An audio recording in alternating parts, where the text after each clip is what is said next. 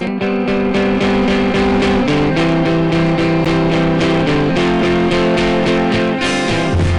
Morera i Català, casat, tres fills, advocat, desè president de les Corts, càrrec que culmina una trajectòria política que va començar fa més de 30 anys.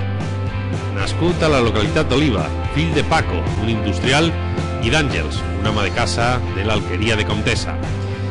Llicenciat en Dret, ha exercit com a advocat i empresari. Va iniciar-se al món de la política de la mà de joventuts del Partit Nacionalista del País Valencià. Va exercir l'advocacia especialitzant-se en temes urbanístics i com a empresari va gestionar empreses dedicades al turisme rural i a la promoció de la pilota valenciana. Va ser un dels promotors de la fundació del Bloc. Partit va ser el primer secretari d'organització i des de 2003 secretari general.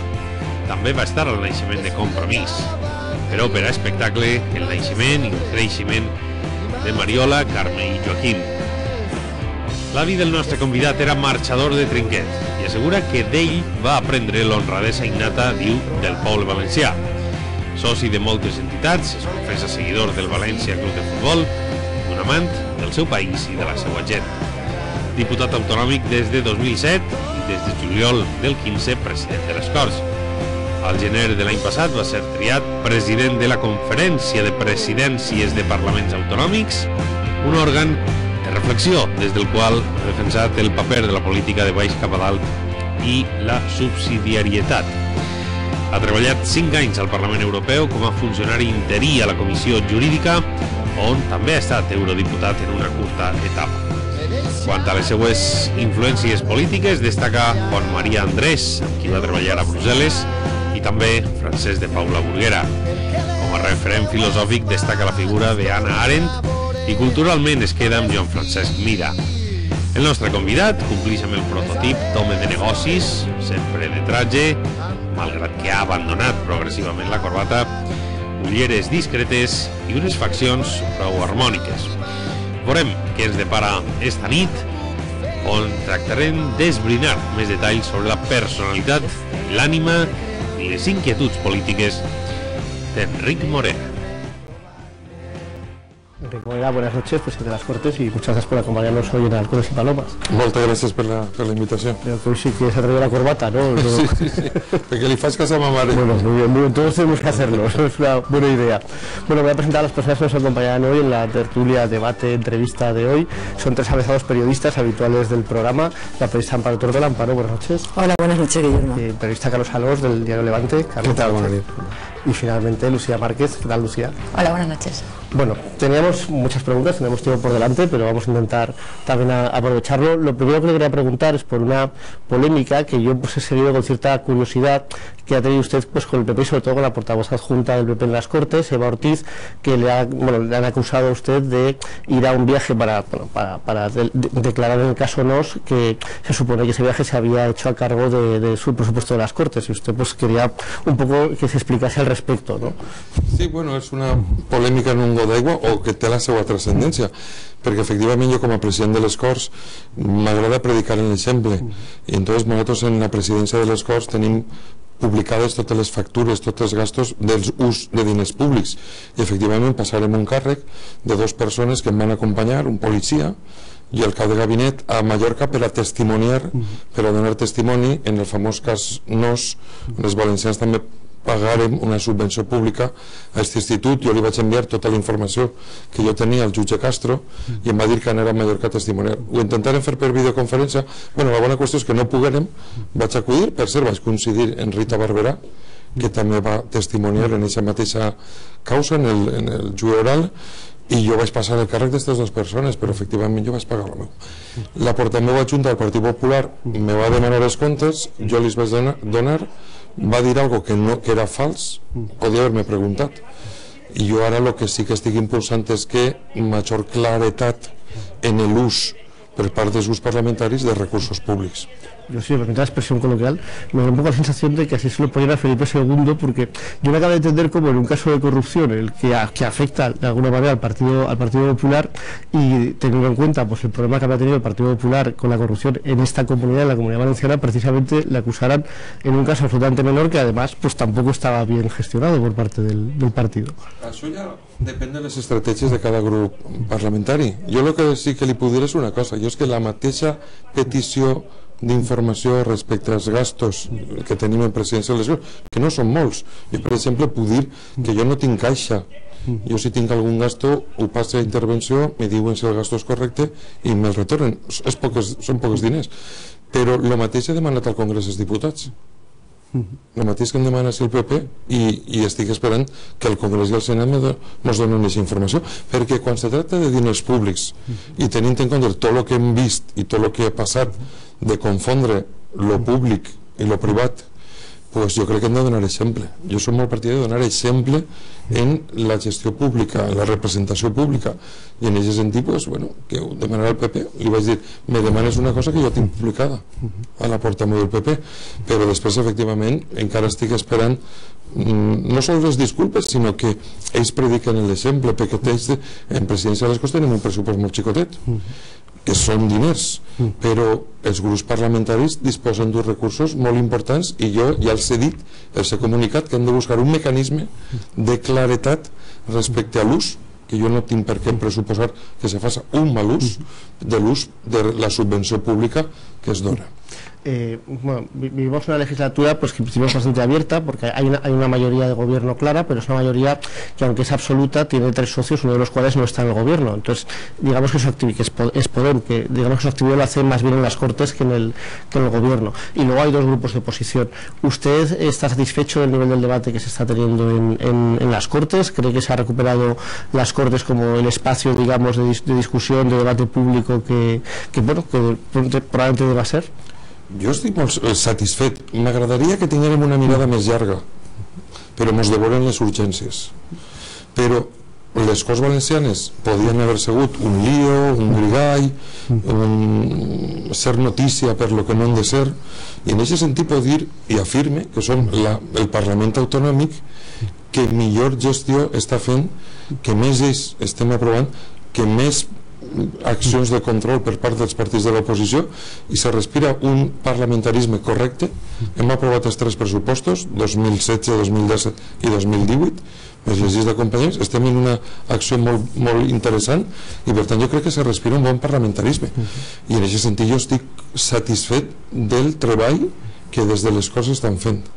I, i alguna coseta ajude per a que aquest bon parlamentarisme hem de recordar en un parlament en cinc grups parlamentaris i que en la mesa estan representats els sis grups parlamentaris i hem de dir que la diversitat i la pluralitat és bona per al parlamentarisme Bueno, vamos a... Hola, señor Morera, buenas noches. Buenas noches. Yo tengo una curiosidad, a ver em, si usted me lo sabe explicar. Yo no sé si el gobierno español eh, tiene la piel muy fina en materia de ámbito competencia- competencial o es que aquí en la comunidad valenciana se legisla un poco torpemente o a tontas y a locas. Lo digo por la cantidad de leyes valencianas que el gobierno de España recurre ante el Tribunal Constitucional por considerar que desde aquí hay una, se, se excede con mucho el, el ámbito competencial. ¿no? Ahora mismo así me viene a la cabeza pues, la ley de pobreza energética, la ley de la función social de la vivienda, la ley de, de Sanidad universal. sanidad universal. Entonces, me llama la atención ¿no? la cantidad de recursos que el Gobierno de España presenta ante, el- ante el, ante el máximo tribunal contra leyes aprobadas en esta comunidad. Y no sé si es porque ellos tienen la piel muy fina o porque aquí no se legisla con la, con la debida diligencia. ¿Usted sabrá? Jo crec que este és un símptoma d'un problema greu que té Espanya, gravíssim. I és que en els últims temps s'ha produït una recentralització de l'Estat per dos vies. Per el model de financiació, que és injust, és pervers, és desigual, és inconstitucional perquè vulnera el principi d'igualtat i després per la recentralització de les competències. Seria bo que ens poguérem posar d'acord en la redefinició del títol octavo de la Constitució, que és la que marca les competències de les comunitats autònomes i les competències de l'Estat.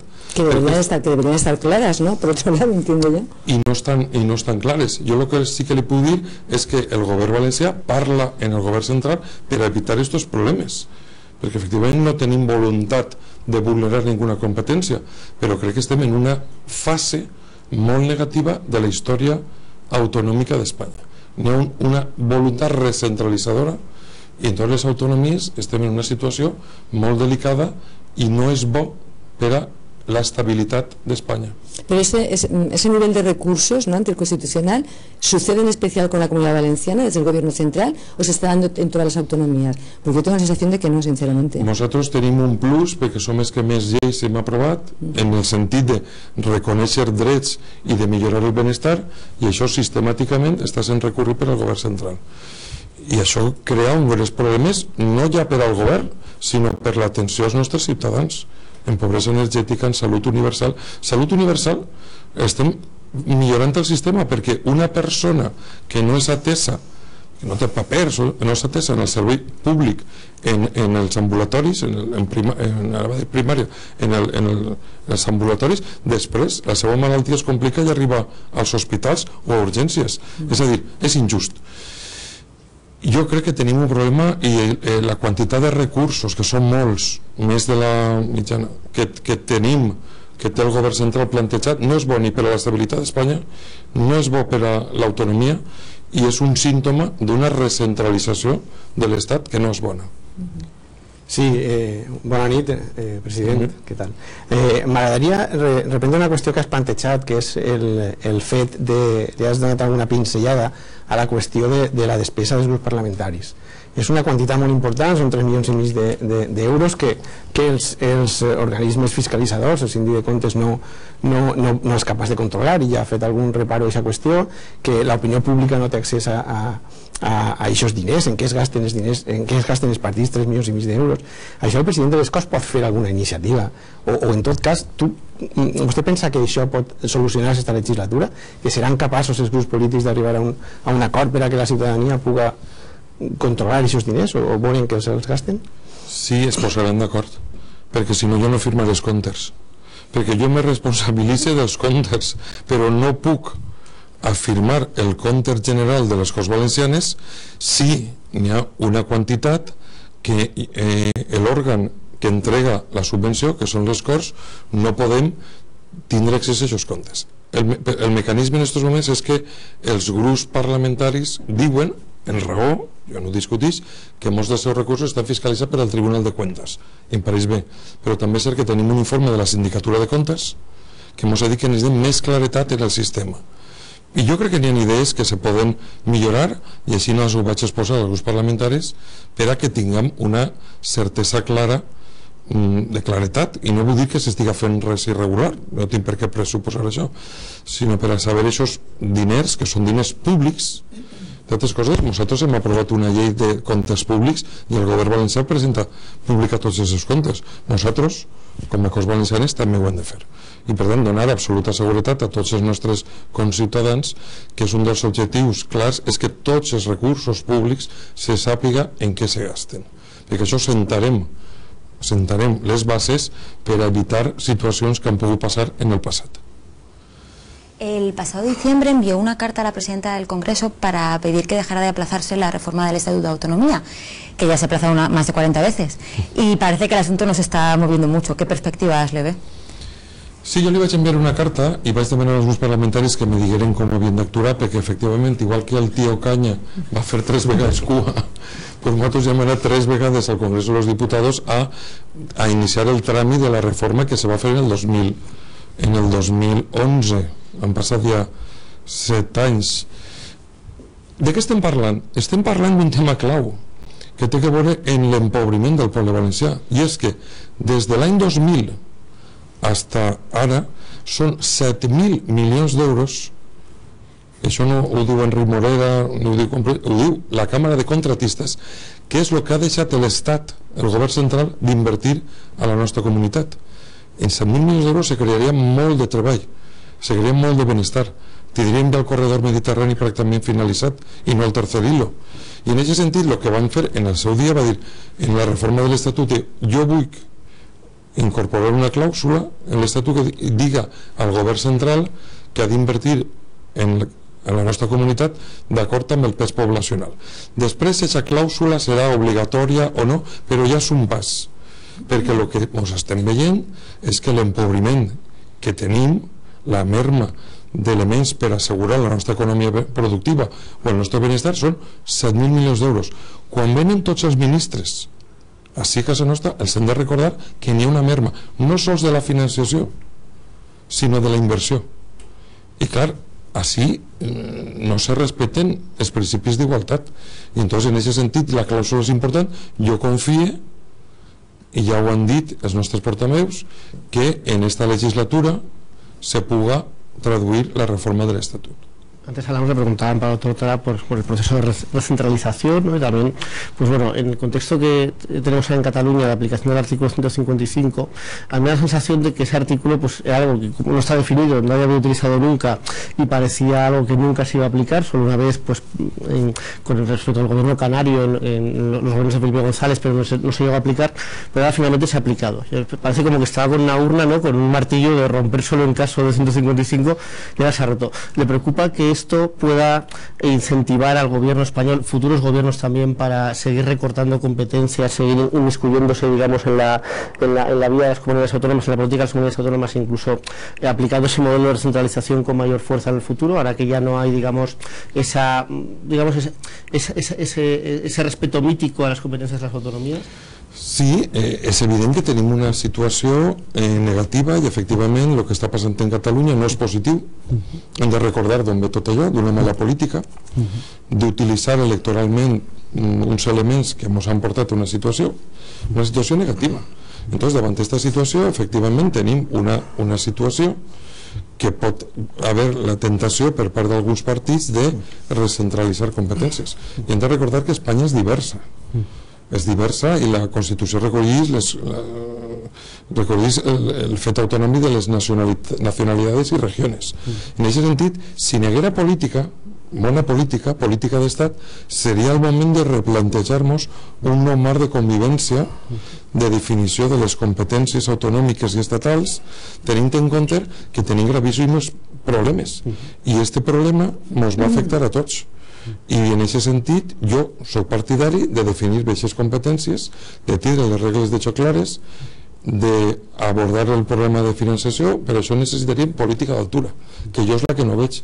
Jo el que veig és paràlisis i deixar que els tribunals de justícia facin un treball que és de l'àmbit de la política Eh, hablando de la cuestión catalana, eh, eh, ¿cuál es la solución que usted propone? Quiero decir, ¿usted es partidario de la celebración de un referéndum en Cataluña y de que el Estado, el gobierno del Estado, acepte el resultado de ese referéndum? ¿Cree que esa sería la solución?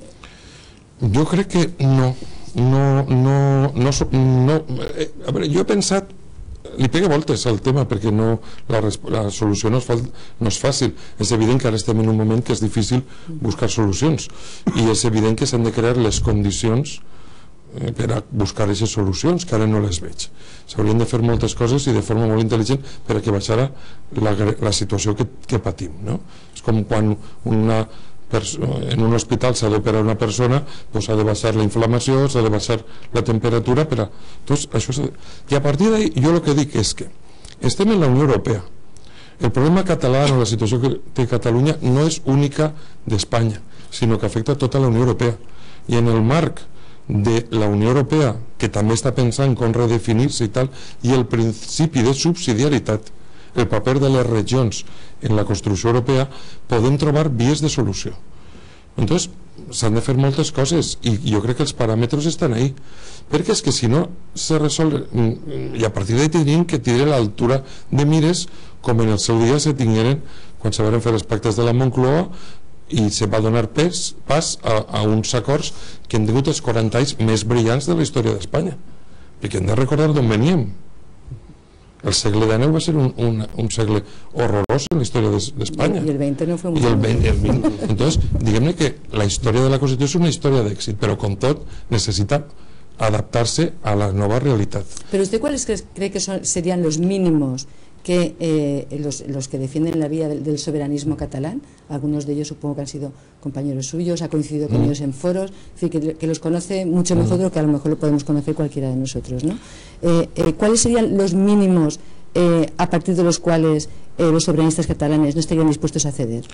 Bueno, jo crec que ahí n'hi ha una cosa que a nosaltres també ens afecta. Tenim dos elements claus. Uno és la financiació, Dos, es el blindatge de competències. Pero eso también lo queremos los valencianos, Claro, ¿no? per això dic que a nosaltres també ens afecta. Jo crec que respon a un concepte de si Espanya és uniforme, una gran libre, o Espanya és diversa. S'ha d'acceptar la diversitat com un valor enriquidor, positiu, per a Espanya i per a la Unió Europea. Jo crec que en aquests dos elements i eh, tindre la capacitat de, en un món global, tindre competències per a poder afirmar-te perquè ni el reino d'Espanya és independent el reino Pero la diversidad es sinónimo de independencia en este no, caso. És que independent no és ni Espanya. Per tant, el concepte d'independència no és factible, perquè vivim en un món, món integrat i, i, i el Regne d'Espanya ha cedit moltes competències a la Unió Europea. No decidim nosaltres soles en matèria de financera de, ara de supervisió bancària, de tantes i tantes coses. Jo crec que només, i després Espanya ha de fer reformes, Espanya ha de fer reformes perquè n'hi ha molta superestructura política, diputacions, senat, s'han de fer moltes reformes. Este, és que Espanya pot entrar ràpidament en riesgo país. És que l'any passat encara en un dèficit de 37.000 milions d'euros en totes les retallades i les involucions socials que hem patit. És a dir, que Espanya ha de fer moltes coses i fer-les bé. Tenim un problema amb les pensions. I jo per això reclame bona política, no només per a buscar un encaix i una solució. El a por ellos no solució. Perquè ells són nosaltres, formem part d'un mateix estat. Entonces jo crec que ha hagut ahir errors per totes bandes. I és el moment de baixar aquesta informació, buscar unes vies de solució política a problemes que tenen un arrel polític. No sóc optimista en estos moments. ¿Y cuál ha sido el error de los soberanistas catalanes en su, en, desde su punto de vista?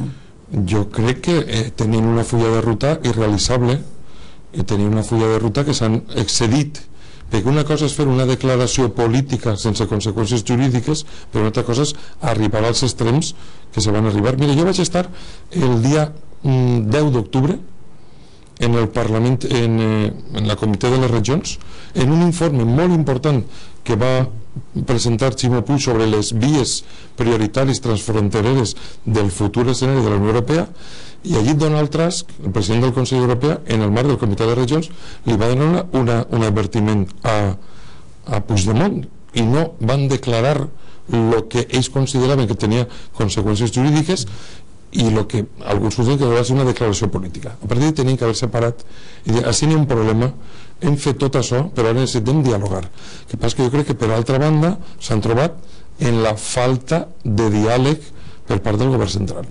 I després jo crec que, per desgràcia, eh, la bandera o el nacionalisme espanyol també se utilitza per a tapar els problemes que tenim problemes econòmics problemes de pensions problemes de molts tipus i aquests problemes no s'estan abordant. I la política ha de donar solucions a problemes. Això no és política, és divertimento i això no pot ser perquè nosaltres tenim la enorme responsabilitat d'estar en les urgències però també estar en el que va vindre. I el que va vindre, si no ens espavilem no és bo. Tenim estem un nou contracte de treball en la gent jove un nou marc de relacions laborals, tenim la robòtica en la introducció dels llocs de treball, tenim el tema del canvi climàtic, tenim molts temes. I si no som conscients que estem que tenim que abordar aquests problemes de forma molt, molt conjunta, és que no m'entén res per a què serveix la política. Sí, jo també plantejar una qüestió sobre Catalunya.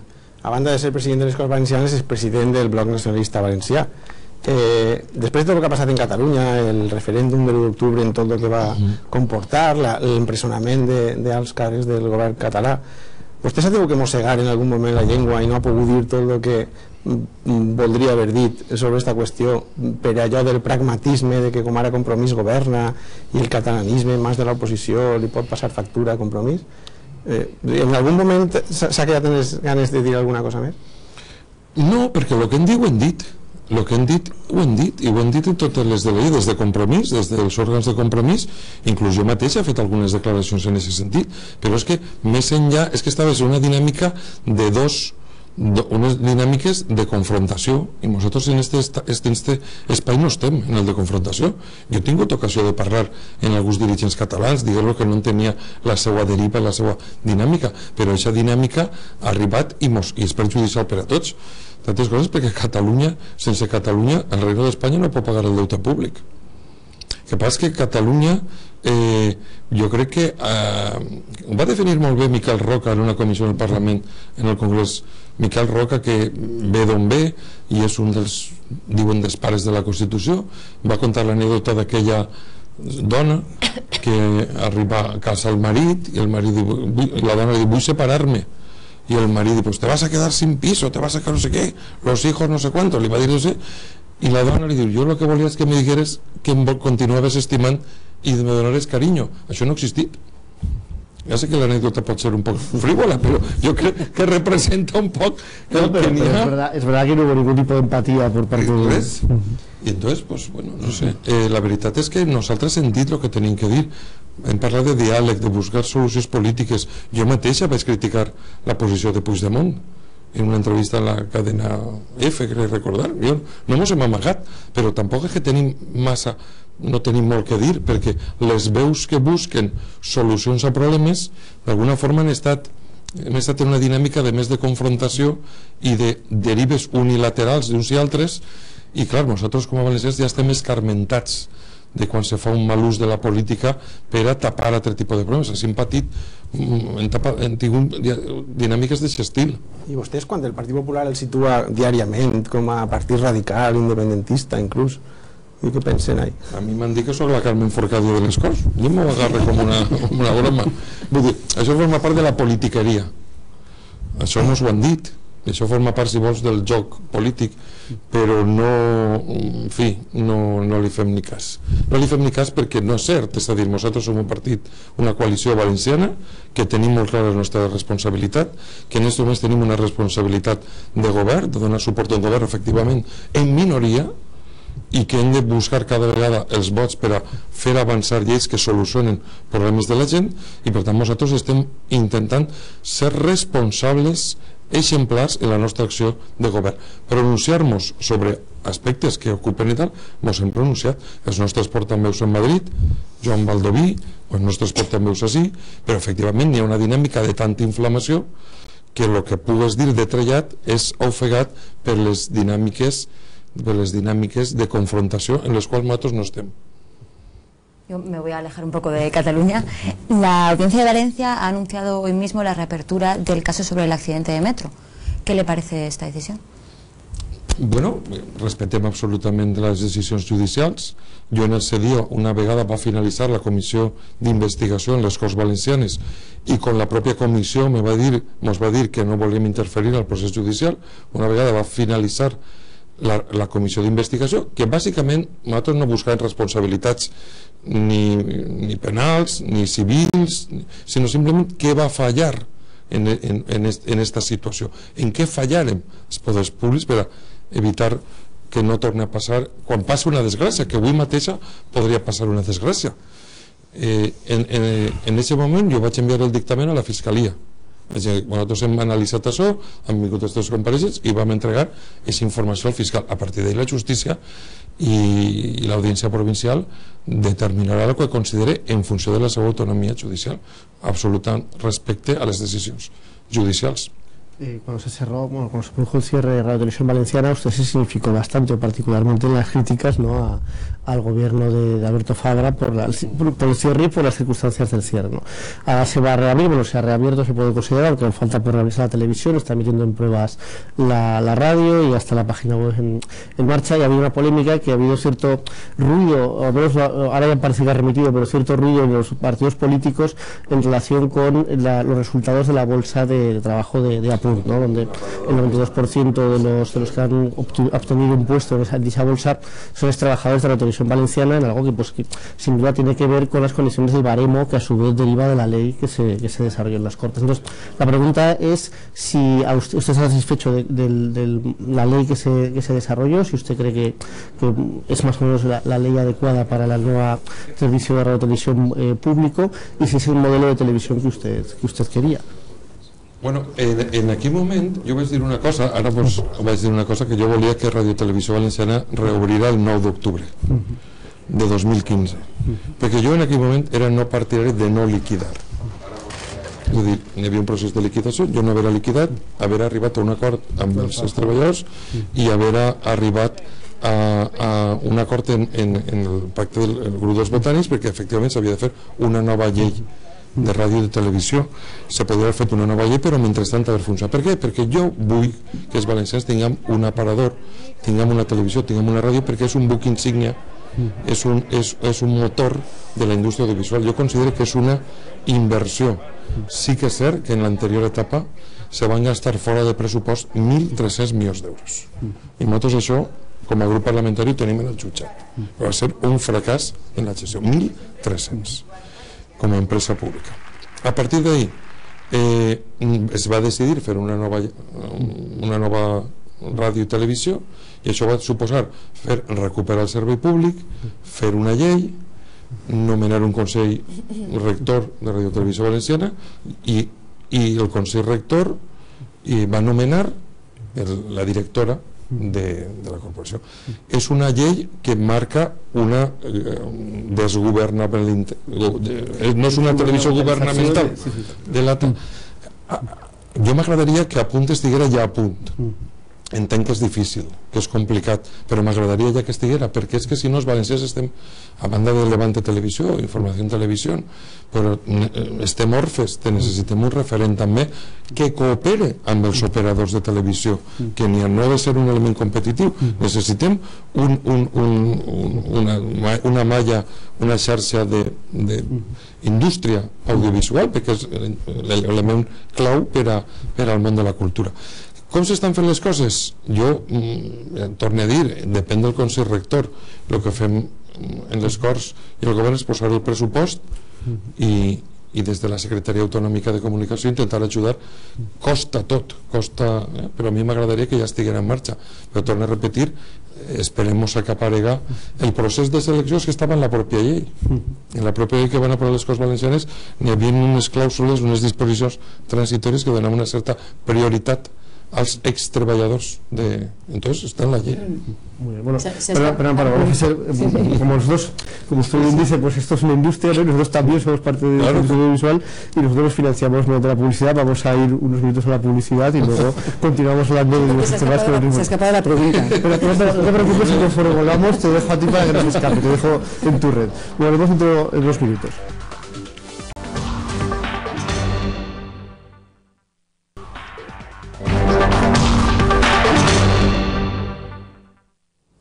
Bueno, pues yo haciendo nueva mi palabra le voy a ceder la palabra a Amparo Tortola, que es a quien la tenía, la había solicitado en el fragor del debate que teníamos con el presidente de las Cortes, Enrique Morera, para que la ejerza cuando ella quiera. No, yo es que creo que, que el presidente eh, de las Cortes eh, ha escurrido el bulto en la última pregunta, ¿no? Es decir, bulto, sí. sí. Suelo hacerlo.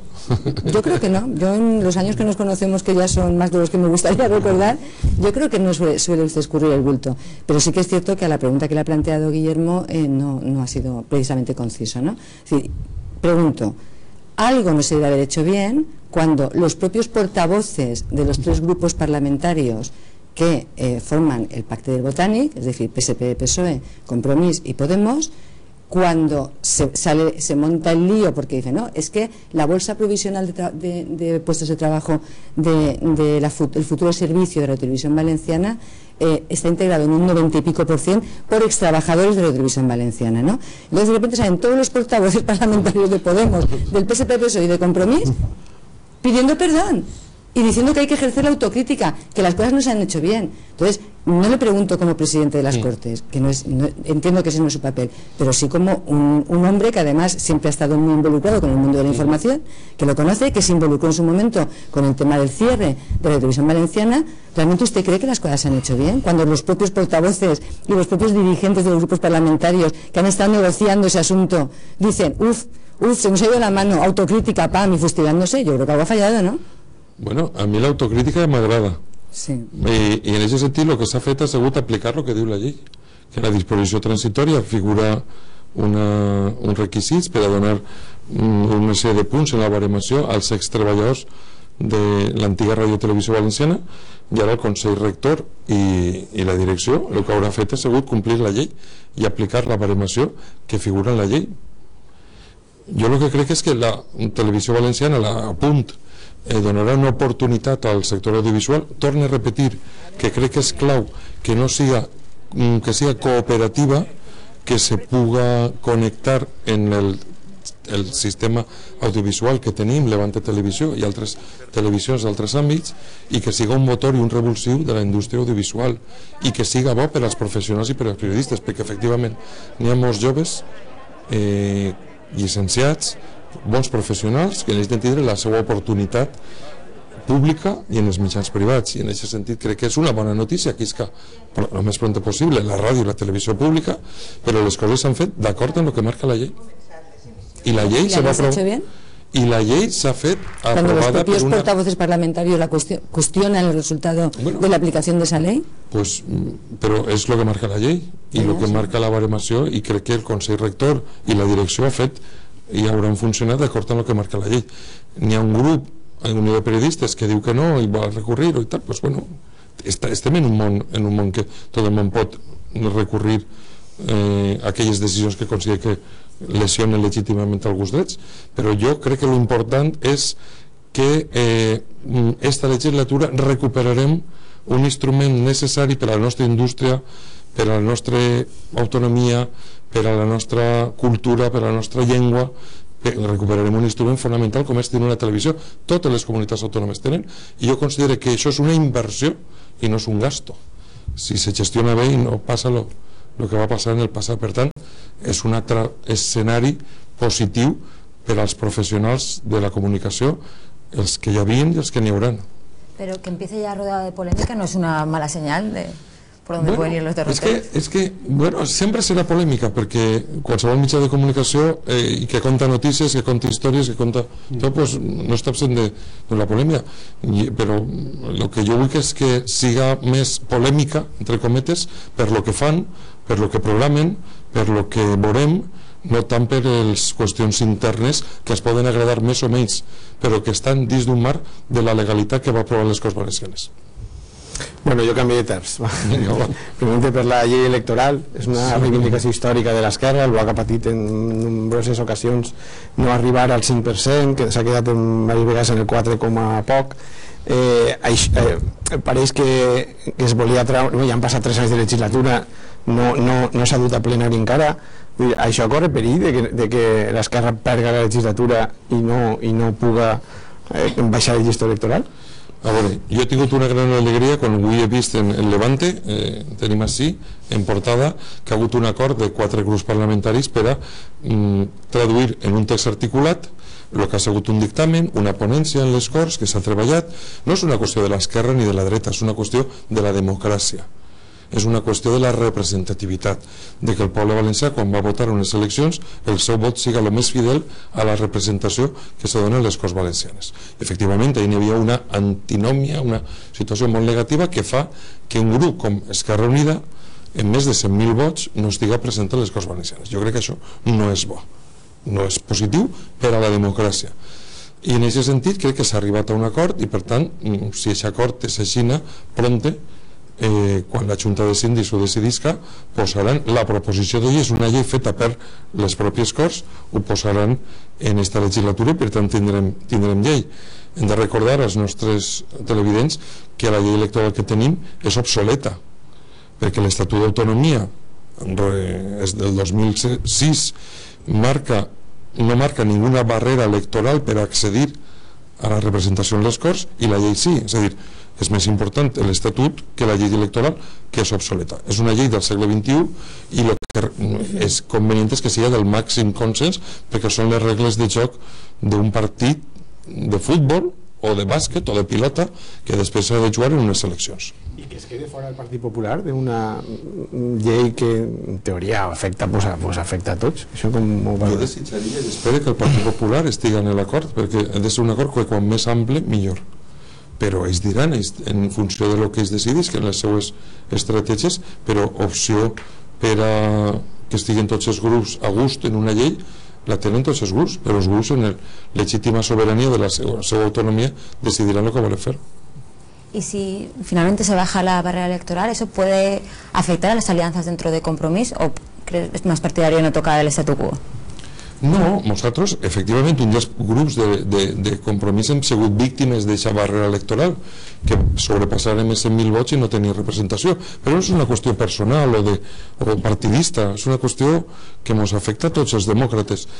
Mm, compromís jo crec que té unes perspectives positives electorals eh, positives i, i per tant no ens afecta directament, però hem de ser conseqüents amb el que van dir Sí s'ha de predicar en l'exemple, i si nosaltres en el seu dia van dir eh, que és una barrera antidemocràtica i ara tenim oportunitat de canviar-la efectivament amb altres grups, no podem decidir-lo nosaltres a soles, doncs nosaltres estarem en esta, en esta via. El compromís, a repetir-te, un futur molt positiu si continuen fent les coses bé.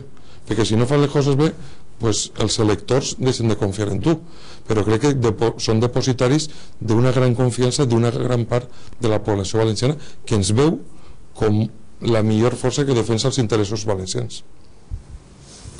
Yo quería hacerle otra pregunta, si me da tiempo hacérsela. Eh, usted es, eh, es, representante del legislativo valenciano eh, y desde esa posición, que además es una posición privilegiada en todo, en cuanto a información también, ¿usted está satisfecho con la forma en que el Ejecutivo valenciano donde también está su partido, la vicepresidenta es Mónica Oltra, el presidente es el socialista Chimo Puig.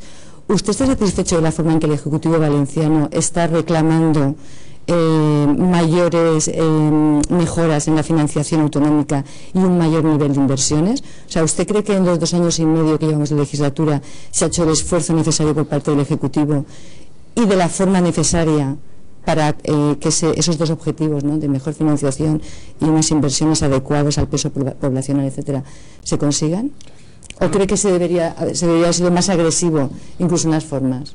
Mm, ahora, el que sí que está claro es que la posición respecte a la falta de financiació i d'inversions la fixem en les Corts Valencianes el 6 d'octubre del 2015 un acord de tots els grups perquè és un tema ja objectiu en el seu dia vam fer un peritatge a través de la comissió d'experts és un tema de peritatge és dir, des de que tenim les competències la infrafinanciació que hem tingut que això se tradueix en que tinguem menys treball menys recursos per atendre les nostres competències menys pensió en fi, se tradueix en el nostre benestar.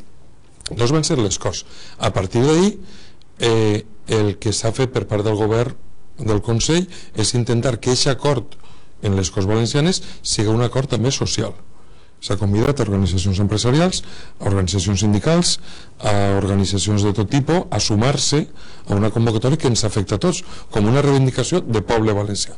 A partir d'ahir jo entenc que tot això s'ha de concretar en uns acords en el Consejo de Política Fiscal i Financiera, el president Puig va obtindre l'acord en, el, en la conferència de presidentes de les comunitats autònomes que al 2010 tindríem un nou model de financiació i això no s'ha produït. Por eso pregunto. pregunto. Es que, si ha sido efectiva la labor del gobierno valenciano. Jo crec que, situ, que com a mínim hem, hem, hem, hem situat el, la qüestió valenciana en molts foros, en molts àmbits. Primer, dins de casa, que era un tema que no se, no se tenia ben situat. I després s'ha tingut que buscar una unitat interna i després traduir-ho en una acció en el, en el, en el, on s'han de prendre els acords a partir d'ahir, doncs, bueno, el, Consell, el Consell ha fet, ha plantejat les propostes, però és evident que encara no tenim la suficient força en el conjunt d'Espanya per a que això se traduïsca en un nou acord de financiació. Ha plantejat el govern valencià un tema interessant i és que per què hem de parlar... Ha plantejat un tema molt interessant i és que no anem a entrar en la batalla entre comunitats autònomes perquè el pastís és xicotet. Per què no parlen de tots els ingressos d'Espanya? Ingressos i gastos. Perquè aquesta és la gran política. Què ingressa Espanya? Uns 350.000 milions d'euros a l'any i què se gasta? Quals una part són les comunitats autònomes, on resideix el benestar de tots els espanyols, siguen valencians, siguen gallegos o siguen andalusos. Sí. Ahí está la sanidad, la educación, todo. Bueno, Enrique, te quería preguntar también respecto, bueno, estamos hablando bastante de, de pensiones y es una cuestión que quería, quería comentar, ¿no? Porque, bueno, lo hemos hecho en la sección de la oeste, hemos hecho una referencia a lo mismo, ¿no? Que es, es un problema que se ha planteado durante muchísimo tiempo, el, la, el hecho de ver si realmente las pensiones son una cuestión que va a acabar siendo un problema también político o no, porque en lo que ha sido la legislatura inicial de Mariano Rajoy es lo único que nos tocó, en lo que te, eh, llevamos de legislatura o semi-legislatura actual de Mariano Rajoy, de repente el presidente del gobierno ha aparecido y nos ha planteado de súbito la cuestión de si debería complementarse lo que son el plan de pensiones eh, público con eh, pensiones privadas. Yo la pregunta que quería hacerle es si usted cree que realmente ese debate está la sociedad española preparada para asumirlo o es un debate prematuro, porque claro, estamos hablando de, de lo que casi todo el mundo da por supuesto, da por supuesto que es que tendrá derecho a la pensión cuando acabe su vida laboral, pues que se empieza a poner en duda o se empieza a poner en duda la cuantía de dicha pensión. Mm. Jo el primer que hem de dir a la gent és que ha d'estar tranquil·la perquè ha de cobrar la seva pensió. Després, més que una proposta del govern central de Mariano Rajoy, jo crec que irresponsable, perquè qui vulgui fer-se una pensió privada o un complement de la pensió ho pot fer, però irresponsable per què? Perquè no pots crear eh, una dosis d'inseguretat. És cert que n'hi ha un problema, que té que veure en dos factors. Uno, en la piràmide d'edat, això és objectiu, i dos, en el model productiu. I és que els joves que s'incorporen al mercat de treball, o no tan joves, entren en uns contractes molt deficients que no cotitzen suficient i no se plena el fons de la seguretat social. Per tant, tenim un problema de model productiu de model salarial, de model de retribució, de tema contractual i un problema de eh, piràmide eh, d'edat. No? I això s'ha de buscar solucions. Però no se pot dir-li sálvese quien puede que se haga un plan de pensiones si la gent no té ni per arribar a final de mes perquè ens han pagat les tasses, els precios públics i els salaris no creixen. Entonces, no pots dir-li a la gent això perquè l'estàs enviant a la desesperança. Entonces, un missatge de dir és un element fonamental mantindre, preservar i solucionar un dèficit que tenim en la caixa de les pensions i això té solucions. Per exemple, eh, el frau fiscal, segons la gesta, no segons compromís, la, els que, les persones dels inspectors de l'Hisenda i tal, diuen que se podia incorporar 60-70 mil milions d'euros al sistema públic. És a dir, n'hi ha mesures per incrementar i assegurar les pensions que se tenen que fer els ajustos necessaris per a garantir la seva viabilitat però si la gent arriba a final de mes com li vas a dir que, se fa un complement una... és, és, és Lo que pasa es que un poco la sensación que, que, da visto desde fuera no es que las soluciones que se adoptan siempre respecto al sistema de pensiones son eh, lo que los expertos llaman paramétricas, ¿no? Es decir, se le toca algún parámetro del sistema pero al final yo creo que se llega a un punto en el que lo que hace falta es una reforma estructural del sistema y lo que se está proponiendo ahora otra vez ves que son otra vez eh, soluciones parciales, no pequeños parches cuando no, porque efectivamente las causas que usted acaba de apuntar la pirámide poblacional, el nivel de sueldos, etcétera eh, dan para un sistema, sí, sostenible, pero desde luego insuficiente, ¿no? Para, pero para allá, o sea, para dentro, para nuestras pensiones, para los que estamos aquí. Por eso he dicho que hemos de ver en qué, qué ingresamos y qué gastamos, todo y creo que hay soluciones porque hay muchos elementos que nos harían ser más competitivos y hacer más ingreso público y por tanto garantizar la solución de las pensiones. Pero eso para eso hay que hacer buena política, política de Estado, política de alturas, no de parches y sobre todo no crear la desconfianza con, con anuncios o declaraciones que no son de rigor. Las pensiones son un derecho conseguido en un sistema público bueno de, de, que tú capitalizas tu pensión, se deberían introducir retoques, pero eso hay que hacerlo con mucha con muchos datos eh, actuariales, matemáticos, de evolución de la población, afortunadamente la gente vive más, hay que hacer una serie de, de políticas que aseguren esto. Pero yo es que no veo esas buenas políticas, veo que la política en España está bastante gripada. Sí, a mi no m'agradaria acabar sense fer una qüestió interna de compromís. Vostè sempre es refereix com a cooperativa política. Això moltes vegades, el fet de que hi hagi tres partits i inclús un, un grup de gent adherits que també està en una espècie de, de limbo, això genera friccions, és evident. Vostè quin seria partidari d'anar- de- eh, cap a una federació de partits, cap, a un partit conjunt, cap a quin tipus de, de, de modalitat de- de- d'unió desitjaria vostè? Jo vaig a dir una cosa molt valencià, jo de lo que més convinga. És a dir, jo sóc partidari de que l'instrument funcioni i funcioni bé. I l'instrument compromís en fórmula de coalició, però nosaltres hem dit una cooperativa política perquè té òrgans conjunts, les sectorials que elaboren les polítiques, els òrgans territorials, tot és millorable. Jo vull major dinamisme, major quotes, és a dir, no és el, el compromís que van fer des de l'oposició que un compromís que està governant i que té altes responsabilitats. És a dir, jo sóc partidari de que l'instrument, no hem de perdre de vista que som un instrument, no una finalitat en nosaltres mateixa, s'adapte a les necessitats per la qual està, va estar creat. I per tant, internament, prendre les mesures per a que aquest instrument continue aportant, donant solucions, sent útil. I crec que ho va ser per lo que hem estat parlant i tal, crec que va continuar en aquesta línia positiva un espai en el que tothom se troba a gust, és a dir, efectivament, hi ha molta varietat, però és- n'hi ha un compromís. És com eh, l'Evangeli. Tenim una trinitat, però un, un único Dios verdadero. El actual gobierno valenciano llegó al poder con muchas promesas sobre pues, cambio político, sobre introducir nuevas formas de hacer política. Visto con perspectiva, está, pues, ¿cree que se está consiguiendo cumplir este objetivo o que se está quedando un poco a medio gas? Jo crec que s'estan fent coses interessants, sobretot pensant en que els canvis siguin sòlids, siguin estables. Per, eh, això se va fer una conselleria de transparència i de responsabilitat. Si tots els gastos, per exemple, li vaig a donar un dato, en l'anterior govern el gasto diari de l'anterior Consell era de mig milió d'euros. 174 milions d'euros de gastos en estos meses, todo lo que se gasta el nostre govern està publicat perquè s'ha publicat una llei de bon govern, de transparència i de tal. És a dir, es- es s'estan donant passos en aquesta direcció, en passos de, de, de responsabilitat, de gestió participativa, n'hi ha més interlocució so, social. Una de les coses que mos, me, sorprèn, perquè jo quan vaig a algun lloc pregunto què tal, com vos trate, què tal? Mm, tenim interlocució, no estem d'acord en totes les coses, però com a mínim hi interlocució, se parla. És que és la manera de fer política, perquè tu no estàs ahí per inventar la pólvora, estàs per a gestionar interessos molt diversos, de tot tipus, però en definitiva el que vols és que els canvis que se puguen eh, siguin després canvis que ens permetisquen millorar la nostra qualitat de vida. En definitiva és una política per a donar solucions. Podria contar ara molts exemples de moltes... Ara, per exemple, el dimecres tindrem la llei de l'horta. I jo parlant amb els agricultors i els llauradors, que efectivament no ho veien del tot el, el problema no és que fem una llei meravellosa de l'horta, que serà una bona llei, és que els agricultors no tenen renta i miren alguns d'ells el seu camp com un lloc per especular.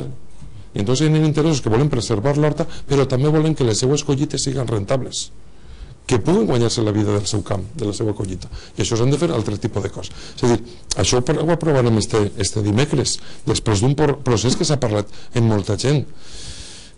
Jo crec que els canvis que s'estan produint, aquests xicotets... Mira, se va produir l'altre dia una notícia interessantíssima que jo crec que ha passat un poc desapercebuda.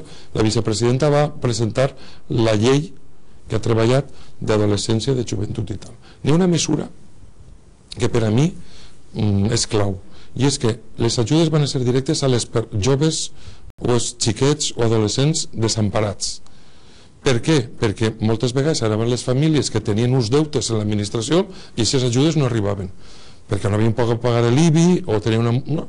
I entonces aquests xiquets se veien desemparats. Ara les ajudes van a ser directes. Només per lo que s'ha fet per solucionar el problema, i, i jo me consta directament, dels xiquets desprotegits, sense famílies o famílies desestructurades i tal, jo crec que s'està fent una bona base per atendre aquesta realitat no vull fer propaganda, però o sí però crec que s'estan fent coses molt estables i molt dignes eh, per, a, per a molt de temps Bueno, pues hecho usted propaganda, ha hecho usted muy bien, porque esto se trata, ¿no? Que no se note. O sea que muchísimas gracias por acompañarnos hoy, porque nos hemos quedado ya sin tiempo, aunque nos quedan muchísimos más temas que tratar, así que le emplazamos si usted quiere a repetir cuando, cuando sea menester. ¿no? Ejemplo, jo desvanit, perquè com en les Corts Valencianes només no puc parlar, només puc dir falta, bona o va de Esto se bo. les quita, no? Jo sí tinc aquesta oportunitat i per tant vos molt, molt aquesta oportunitat d'haver-me convidat. Pues muchas gracias, muchas gracias a nuestros contertulios, Lucía Márquez, eh, Carlos Salós y Amparo Tortela, muchas Buenas gracias y pues, bueno, muchas gracias al presidente de las Cortes por acompañarnos hoy en Halcones y Palomas. Moltes gràcies. Bueno, nosotros